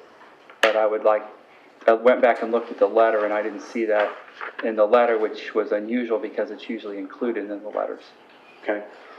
Would you be comfortable holding that until we can talk to her Let's next hold week? it, that'd be fine. Thank you. Bill number 109 is held.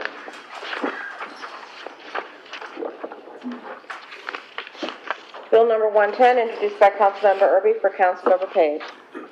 Move for final passage, Bill number 110. Second. Roll call. Councilmember Erby? Aye. Councilmember Page? Aye. Councilmember Wasinger, Councilmember Gray, Aye. Councilmember Dolan, Aye. Councilmember Trakas, Aye. Councilmember Harder. Aye. Mr. Chair, on bill number 110, there are six ayes and one absent. Bill number 110 is finally passed. Bill number 111, introduced by Councilmember Wasinger. In the absence of uh, Colleen Wasinger, I move for final passage of Bill number 111. Second. Roll call. Councilmember Erby? Aye. Councilmember Page? Aye. Councilmember Wasinger, Councilmember Gray? Pass. I- Is that an abstention? No, I'm waiting for everybody. Well, I Councilman- had a question actually prior, but I didn't know if it was okay to interrupt. You can ask a question. Um, is this the same green trails on Gravois? This is the, um, The CID The out off of CID New Road in West County. in the Fenton area that we had the hearing on. Or Fenton, I mean. Okay. Yeah. Uh, aye. Councilmember Dolan? Aye. Councilmember Trakas? Aye. Councilmember Harder? Aye. Mr. Chair, on bill number 111, there are six ayes and one absent. Bill number 111 is finally passed. Moving on to resolutions, Mr. Chair, we have two additional this evening. Resolution number one, introduced by Councilmember Page. Move approval of resolution number one. Second. Roll call. Councilmember Erby? Aye. Councilmember Page? Aye. Councilmember Wasinger? Councilmember Gray? Aye. Councilmember Dolan? Aye. Councilmember Trakas? Aye. Councilmember Harder? Aye. Mr. Chair, on resolution number one, we have, there are six ayes and one absent. Resolution number one is uh, adopted. Resolution number two, introduced by Councilmember Erby. I move for adoption of resolution number two. Second. Roll call. Councilmember Erby? Aye. Councilmember Page? Aye. Councilmember Wasinger? Councilmember Gray? Aye. Councilmember Dolan? Aye. Councilmember Trakas? Aye. Councilmember Harder? Aye. Mr. Chair, on resolution number two, there are six ayes and one absent. Resolution number two is adopted. Moving on to unfinished business, Mr. Chair, item number one, sixth district. Receive, file, and the deposit agreement and subdivision plat be approved as recommended. Second. All in favor? Aye. Opposed? Motion carries. Item number two. Hold on the order of business, and that will be the order. Item number three, sixth district. Please hold on the order of business. So ordered. Item number four, seventh district. Uh, hold on the order of business. So ordered. Item number five. Hold on the order of business, same motion on items six and seven, and that will be the order. And moving on to new business, district Chair, we have three prepared orders this evening. I move for adoption of orders number one, two, and three. Second. All in favor? Aye. Opposed? Orders one, two, and three are adopted. Um, I do have an announcement to make, um, due to the, um, important work of our first responders and police and Metro and other folks who would be interested in testifying in our Metro Safety and Security Committee of the Whole hearing tomorrow. That meeting will be uh, canceled and we will reschedule at a time when everyone um, can participate. Motion to adjourn. Uh, Before we adjourn, Mr. Chair, I I would, uh, if you'll permit, I I do have some uh, questions regarding the status of the um, the auditor inquiry. I'd like to get into if it's all right with you. Yes, go. Okay, thank you. Um, Mr. Krane, I want to direct my questions to you. Um, I'm in receipt of an April 18, 2017 letter from you uh, concerning my inquiry to you relating to your office's investigation of the county auditor. I provided the clerk with a copy of your letter, and I asked her that she give it to you now. You have uh, in front of you, are you familiar with the letter? I am. Okay. Could you elaborate on the nature of the investigation or the inquiry referenced in your letter? In what sense? Elaborate. Well, first, let's start. How did your um, inquiry, how was it initiated? Mr. Trakas, you know how. Two members of the council asked me to look into the qualifications of the nominee. Okay, and so I want to make sure, and that's why I asked, I want to make sure I understand. You were asked to look into the qualifications, is that correct? That's correct. And were you asked to look into anything else? No. Okay. Um, in your, in that letter, you indicate, and I quote, In assuming initial responsibility of the inquiry, I implicitly acknowledge the fiduciary responsibility I and my office owe each member of the council, the council as a whole, and of course, St. Louis County in general. Did I read that correctly? You did. Okay. Can you tell us, please, what you mean by fiduciary responsibility? Well, as a member of the uh, legal staff, chief legal officer of the county, I have to carry out all my responsibilities with honor, dignity, and in full respect. And that's what I mean. Okay. Um, so, in discharging this fiduciary responsibility, do you believe that you owe the council an explanation as to what you are doing with respect to your inquiry regarding the uh, auditor? At, on occasion. Um, Is it not true, and can we agree, that pursuant to the charter, the county auditor position is one of only two positions the county council has exclusive responsibility for hiring and firing? I believe that's true, yes. Um, and can we also agree that the county auditor position is a non-merit position? Yes. It has certain protections similar to a merit petition, a merit position, yes. But it is a non-merit position, correct? Right, with certain protections provided by the charter. Okay, thank you. Uh, And is it also true that your position as county councilor is the same? That is a non-merit position with protections? Uh, no, What's the difference then? I have no protection. You have no protections, okay. And so that's where I was going. In connection with that, if I understand correctly, you're appointed by and serve at the pleasure of the county executive, is that right? Yes. Okay. Uh, As such, is it accurate to say that once hired, the county executive has exclusive authority over you and ultimate responsibility for directing your functions, conduct, and performance? No, You would not say that's an accurate statement? no, I would not. Who else has authority over you besides the county executive? I do. You have authority over yourself? Yeah, that's the whole idea, is it of honor, integrity? Mr. Trakas, you know that, and you've already asked me all these questions. Well, I- actually, I haven't, but that's fine. Um, You have. In the case of the county auditor, a non-merit position, is it true that it's the county council that has always had exclusive responsibility for investigating any aspects of the county auditor's performance and conduct? I'm not sure that that's true. I can't speak to all time. In the time that you've been county councilor, have you ever had an occasion, other than the current one, to investigate any aspects of the county auditor's performance or conduct? No. Would you agree or disagree that the county council has in fact exclusive responsibility in this area? No. Who else besides the county council has authority and responsibility over the county auditor? Well, there can be any number of persons. I mean, he's not, the auditor appointed by the council is not free to perform or- or commit any act that he so chooses. He's subject to the same responsibilities as any other appointed person, regardless of the body by whom the person was appointed. I understand that. My question though goes to who supervises and is ultimately responsible for the supervision of the county auditor? Well, I'm not sure that anybody has immediate supervision authority over the auditor. He's supposed to be independent, so the council does not control him, and the council can't commit any act that would immediately indicate that they are in control. Do you agree the council has exclusive authority to hire an auditor? I think the council has exclusive authority to appoint the auditor.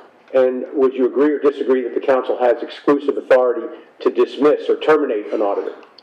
Well, I'm not sure that they have exclusive authority. Who else? Again, if he, if he, per- if the auditor performs an illegal function, or commits a crime, or is not qualified, then he can be removed from office by other authority than the council. And what authority are you referencing? I'm re- referencing the uh, quo warranto authority that's vested in the prosecuting attorney's office and in my office, by statute. Your office?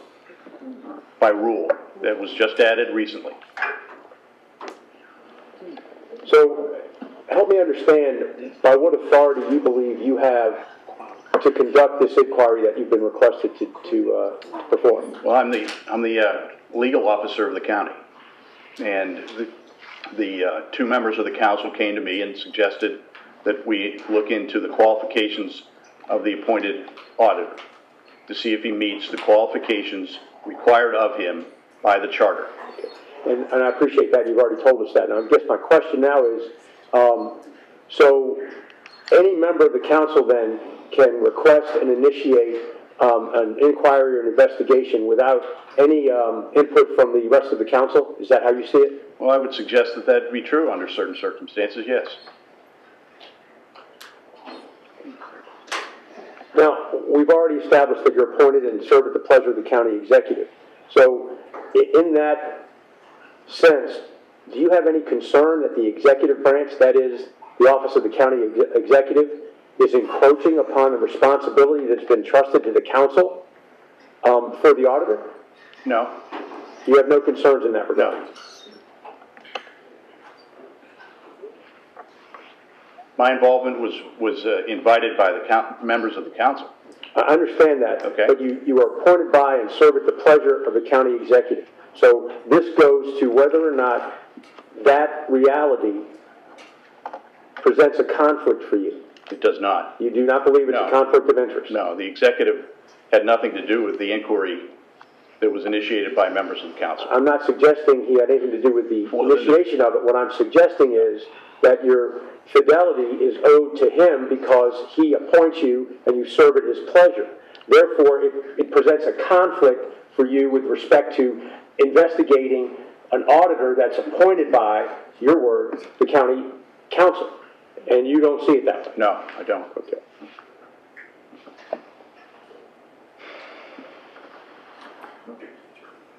Do you believe that your inquiry as it's currently proceeding encroaches upon and presents a separation of powers issue or question? No. Do you not?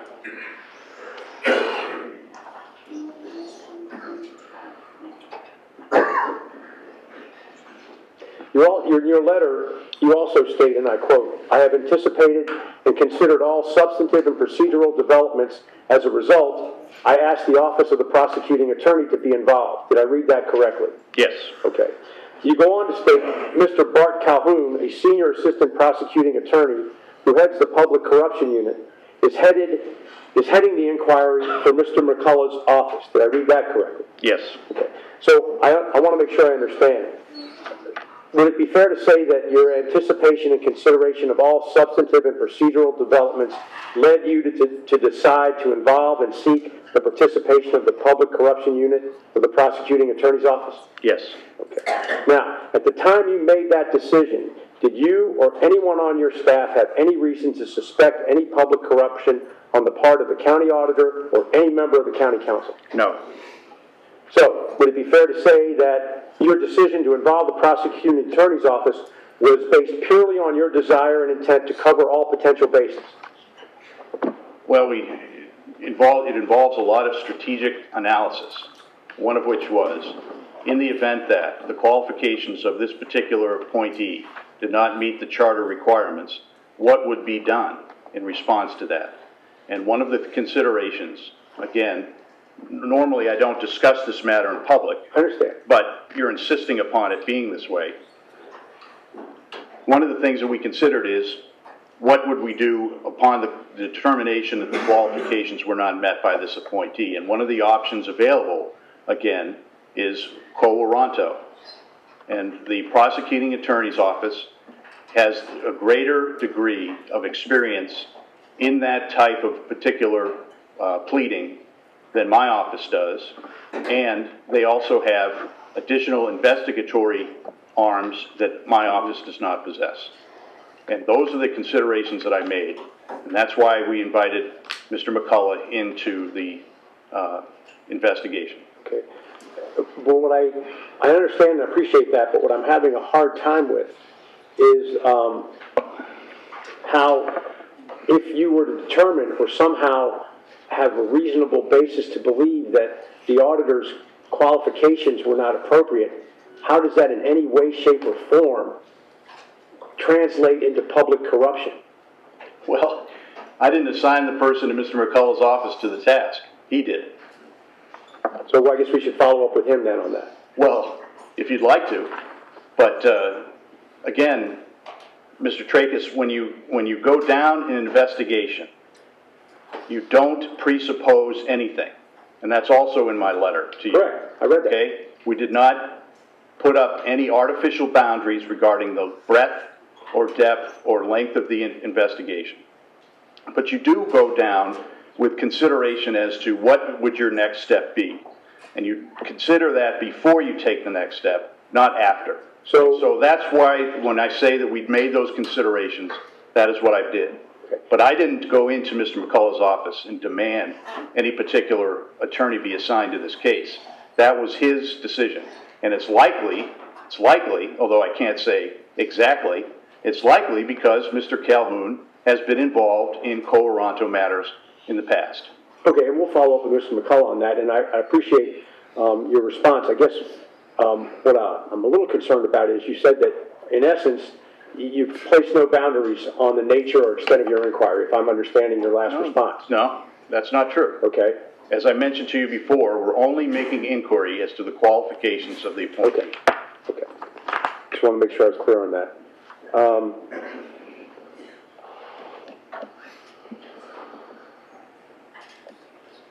Just so I'm clear, at the time that you decided to reach out to the prosecuting attorney's office um, and, and get them involved, did you have any evidence of public corruption on the part of the county auditor or any member of the county council? No. And since you decided to involve the prosecutor's office, have you personally or any employee of the county counselor's office found any reason to suspect or uncovered, uncovered any evidence of public corruption on the part of the county auditor or any person employed by the county, uh, county auditor's office, any member of the county council, or anyone employed by the county council? No.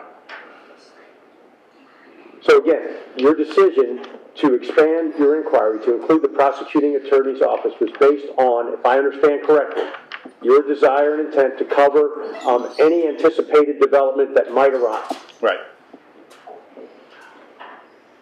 But at, at that time, at least in, the, in your April letter, that decision was- was made without any reason to suspect or any evidence of public corruption, correct?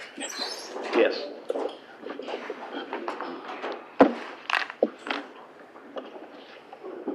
I think that's all I have, Mr. Chairman. Thank you very much, Mr. Krane. Thank you. Now, um, I just have a couple of questions. Um, we won't recognize that motion just yet. This, um, quo warranto rule that you added to your office, did you add that rule after you started this No, investigation? that's a rule that was added to the Missouri Supreme Court rules by the Missouri Supreme Court. For. It's not a rule that was So created by. quo warranto's been around for a while, but it was re- recently given to county offices, county County counselors? counselors, yes. And then, do you think that this, or would you maybe recognize our concern that the executive branch decision to block the hiring of the independent auditor merit-based position in the auditor office, along with this separation of powers question represents a pattern of obstruction of the independent auditor function of the county council? No, I don't, I'm not You sure don't see exactly that what the pattern? question is. If, if the executive branch refuses to allow a budgeted position in the auditor's office, an internal auditor position to be filled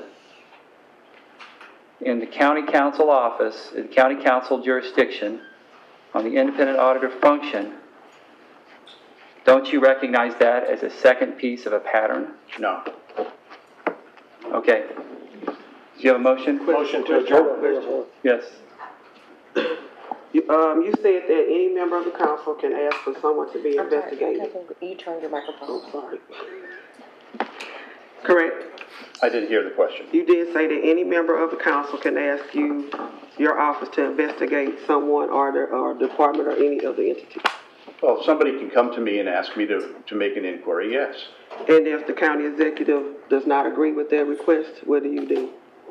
Well, I, I follow through with the inquiry made by the council member. regardless of what his position is. Sure. Also, you mentioned, uh, there were some things mentioned earlier about, um, the county executive having, um, authority over certain things that you do. So if there's a conflict between the county council and the county executive's office, and you are the person we have to go to for information, there's no, what do you do then? How do you, how do you rectify that? How do you represent both parties? Well, if- I don't know that the, a disagreement rises to the level of a conflict, because as I mentioned to you before, disagreements of ideas is not a conflict of interest. That's why I use the word conflict. I beg your pardon? That's why I'm using, I use the word conflict. Right. So I'm not If talking there's a, about if, disagreement. just, just like the, uh, the, the uh, charter and ordinances provide, if the council needs independent counsel, we hire independent counsel if there is a disagreement between it and any other department of the, uh, of the county. It doesn't have to just be with the executive. If you have a, if you have a disagreement that we can't represent both parties on and it just has to do with another department, again, the charter and the ordinances provide for the opportunity of hiring another council to represent you. That, re- has that request been made this year? No. This, okay. So who decides if an independent council is awarded? Well, generally, it would be my office. So you would decide whether or not we had a disagreement that rose, we had a conflict in a policy question that rose to the level of a conflict of interest. That decision rests solely with you? No, I wouldn't say it rests solely. I think it would be in consultation with the council and the other department and make a, a learned decision if a true conflict exists.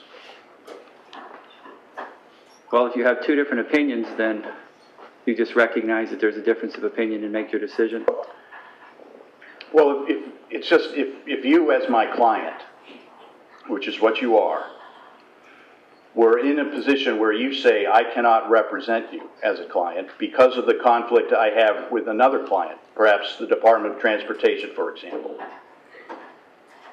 If, if the, if the reasonable persons that we are agree, then you get another counsel. If you're, if it's not being reasonable, then that will be the determination too. Well, I I would argue that the county executive's decision to not allow us to fill an independent auditor's office staff position is unreasonable. Well, I think that that's something you can deal with the, with the, the executive on, but I think we have to thought you caution. my attorney. I think we have to caution the audience, though, is that the council doesn't have authority to fill the auditor's staffing positions. That's the auditor's job.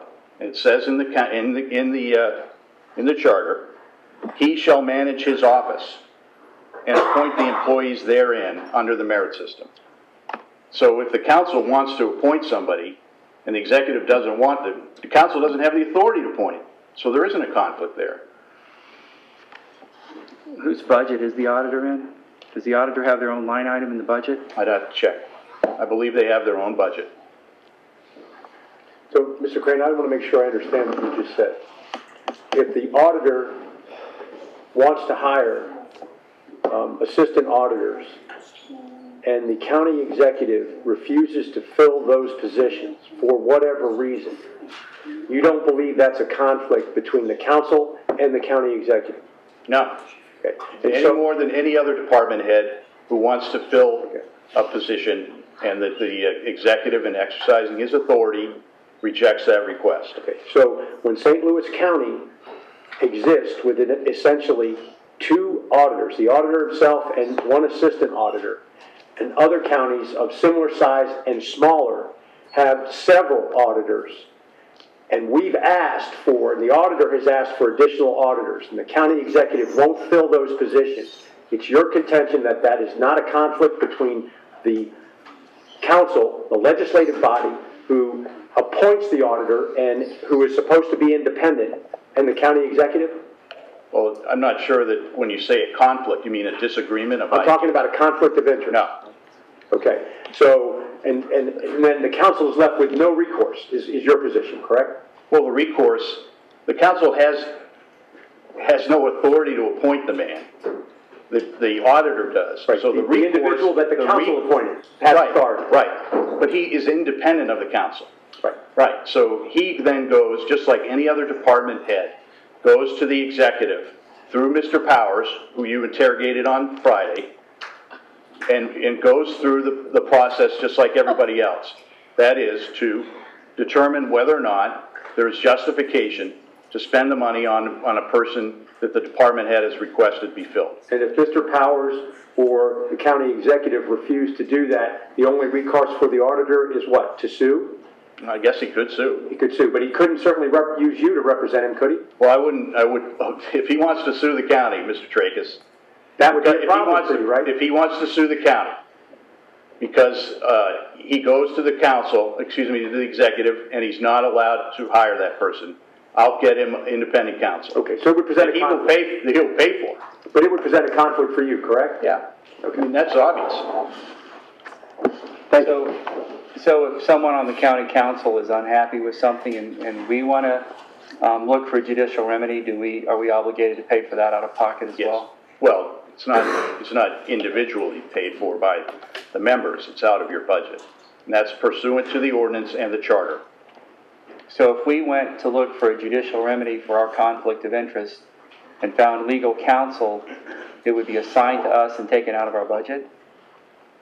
The, the cost associated with that use, yes. That's again, according to the charter and an ordinance. Even though we don't have a line item for legal counsel? You'd have to, you'd have to un- unencumber funds for that purpose. With the county executive's permission? Well, it- it's either you have it or you don't.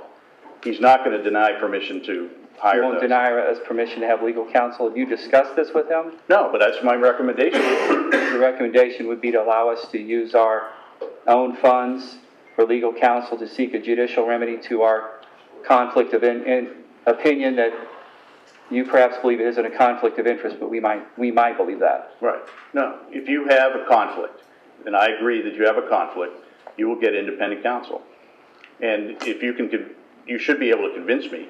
If we get a court action, if we file something in court, would that convince you? Because you, you decide if we have a conflict of interest, it rises to the level of us If- getting, if you it's like if you turn the electricity off to our building. Right. And you say it's not dark enough, right? If you want to, to bring, to or attempt to bring a lawsuit, uh, I don't know why you would do it, since you don't have any hiring authority for the auditor's office, but if the auditor wanted to sue the county because he felt his position should be filled, I'll get him counsel. You would pick his counsel, Well, I will make sure he has counsel. adequate counsel, Yeah, and you're, and you'll pick that person. anybody's opinion. It'll be adequate counsel. That's not gonna be the issue. But he wouldn't be allowed to choose his, the auditor's office would not be able to choose their If he counsel. doesn't like the lawyer that I would select, then he can select a lawyer with me. What does that mean? Well, means you still have to agree to it, right? Well, technically, yeah, but I'm not gonna get in the way of the guy. Well, I don't, we're seeing a lot of getting in the way of our decisions, we just don't know how far it's gonna be carried Mr. out. Chair, I can't get into those kinds of things. I don't make policy. Okay, I'm the, I'm the legal officer. Well, I don't know how much of this is policy and how much of it is interpretation of the law, that's, that's where we can get hung up, I think. Can I, can I make a statement too, sir? Or you- Yeah, sure. Okay. I- Just to comment on what you said, you, you said we have to convince you, that's the second time in the last three days I've heard that the council people have to, uh, convince the employees, our employees, we're the council, we've been elected by the people to look out for the people, to make sure that there's transparency, and we haven't been allowed to do that. Now, you just said, which proves, and I hope people are listening, you said you don't know why we would question, you don't know why we would. Because we're the council, and we are held responsible for anything that goes wrong. We, we feel we need additional auditors. Why do we have to convince you and to convince Mr. Powers? We were elected by the people. You don't have to convince me of anything. I'm You not said part a of minute ago we had to convince you about it. Well, I'm not sure about what you're speaking. The, the ordinance provides for how it is that a a conflict council is selected, and the charter does. And I'll just follow the charter and the ordinance. Do you that's it. admit, though, that we have a conflict? We No, I have a don't. conflict. You No. don't, you don't think we have a conflict? No. Yes. I just want to go on record. Um, this is not the only time we've had a conflict since I've been here. And I just want to go on record, it's not just the auditor position, that's, that's, to my opinion, that we've had a conflict of interest with the county executive's office. And I just want to go on record because that's kind of what you alluded to. It's legislation and everything Yes, else. a lot of Everything we legislation. tried to do, there's been a conflict. And then one of the council members wanted to know, is this a dictatorship? It's been a dictatorship since two thousand and fourteen.